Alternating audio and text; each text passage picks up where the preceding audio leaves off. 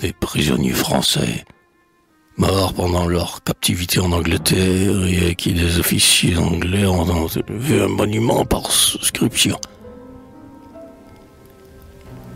Ici dorment, jetés par le flot de la guerre, des de soldats, nés sous un ciel plus beau. Vivants, ils ont porté les fers de l'Angleterre. Noble pays leur offrit dans sa terre l'hospitalité du tombeau. Là, toute inimitié s'efface sous la pierre. Ce dernier souffle éteint la haine dans les cœurs. Tout rentre dans la paix de la maison dernière, et le vent des vaincus mêle la poussière, la poussière des vainqueurs.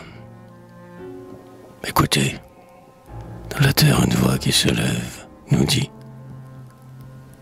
Pourquoi combattre et pourquoi conquérir? La terre est un sépulcre, et la gloire un rêve. Patience, ô mortels, et remettez le glaive. Un jour encore, tout va mourir.